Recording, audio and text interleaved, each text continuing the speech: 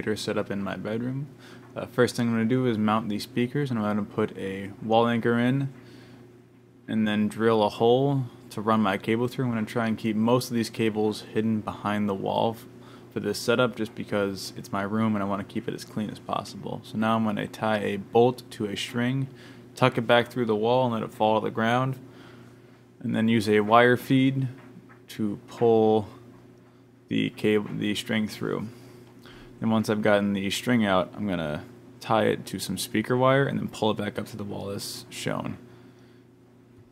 And now I'm going to strip the ends off the wire and put it up through the wall. And then hang it on the speaker.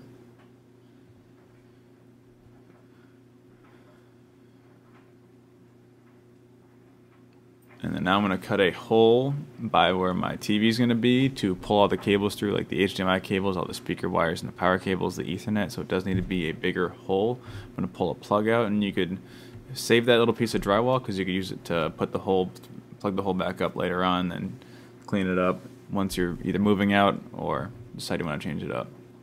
So now I'm going to feed the cables through using the wire feed. You can get these at Home Depot. They're relatively inexpensive and they're very useful for this sort of thing. Unfortunately, this TV is being mounted on an exterior wall, so I have to deal with all the insulation in the wall. And then for the TV mount, I'm not going to show everything how to install that because they're all different. They all come with pretty good instructions. Uh, this is just an inexpensive one I got on Amazon for like 20 bucks. And so I'm also going to put labels on all of my cables to make it easier to figure out which one is which when I actually need to put the speakers in. And then here you can see for getting the bigger cable through, I just tied some string to the little eye hole that's in my feed and pulled it through.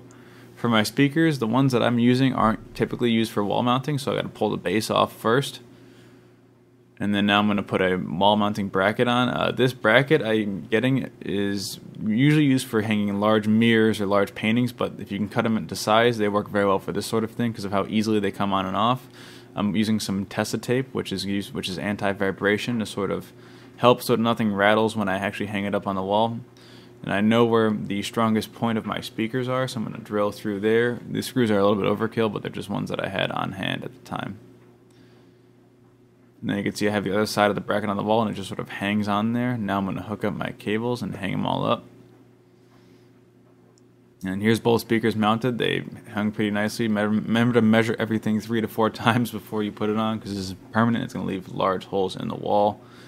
Now I'm going to put the other side of my bracket for my wall mount on here and get that ready to hang up. There, I have a full review of the TV on another part of my channel. I'll leave that link below. Always remember, don't waterboard your television. And then now I've got it mounted on the wall. This is definitely a two-person job. I should not have done this alone, but, you know, whatever. Don't do as I do, do as I say. I'm going to run all my cables behind the TV and all around the mount without ruining the mount or making it so the TV might fall off. And then get it tilted to the proper spot where I want it and tighten everything down.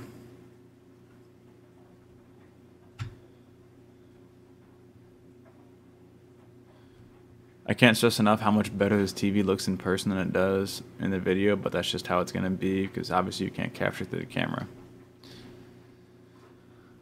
Alright, so now that I've got my TV mounted, I'm going to go and mount the center channel speaker. So for this, there's unfortunately no studs where I'm at, so I have to use these special wall hangers. I'll also leave these a link to these below. I got them on Amazon. They're supposedly can hold a couple hundred pounds, but they did a pretty good job of mounting my center channel, which I wanted to wait to mount until I got it up the TV on the wall so I can get it as close as possible as you can see here. So here's everything installed now I gotta go and clean everything up down on the base. You can see the cables are all still a mess and I've got to clean up my little uh, media center. One thing I wanted to talk about that I didn't put in my actual review of the TV is how awesome the remote is. It's called the Magic Remote and you could use it, it automatically knows other devices and you could use it for things like Xboxes and other uh, receivers that you wouldn't usually be able to use it for. And for my Ethernet cable, and my other speaker cable, I'm actually running it through a existing hole in the wall where the uh, coax comes out for internet in my apartment. And I'm going to put up some blackout curtains to try to keep as much light out as I can so you can get as much of that HDR effect as possible that you can get with fantastic looking OLED panels. So obviously, whatever curtains you get doesn't matter as long as they're blackout to go with the rest of your room, just to keep it as dark as possible. And I'll leave a link to everything that I use in this video between the 9.2 receiver, the TV, the speakers, and link below. A lot of the stuff I already had when I got it, and I just sort of put together all the components that I had. And as you can see, it's a lot darker in here now. I'm also going to hook up hue lights just for more of a better experience for everything. And I'm going to get the base, change out all my bulbs that I have so I could just have one button turn off all the lights in the room and dim them accordingly.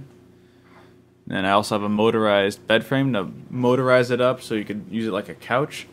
And I found this basket at, I think it was Walmart. They're typically used for bathroom showers, but they also work great as holding all of my controllers and TV remotes attached to the wall and I could then take it off when I'm finished without putting more holes in the wall because I'm already going to have a lot of holes to patch when I move out of this apartment. I also have a hook on the left for my headphones to keep them out of the way.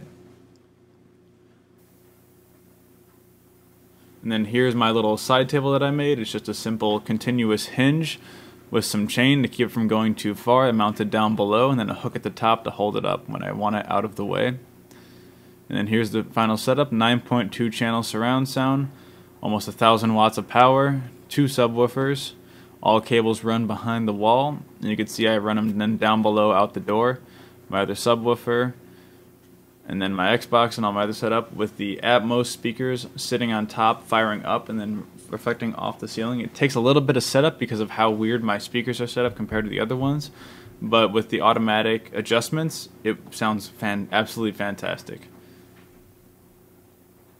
Thanks for watching the video and subscribe for more.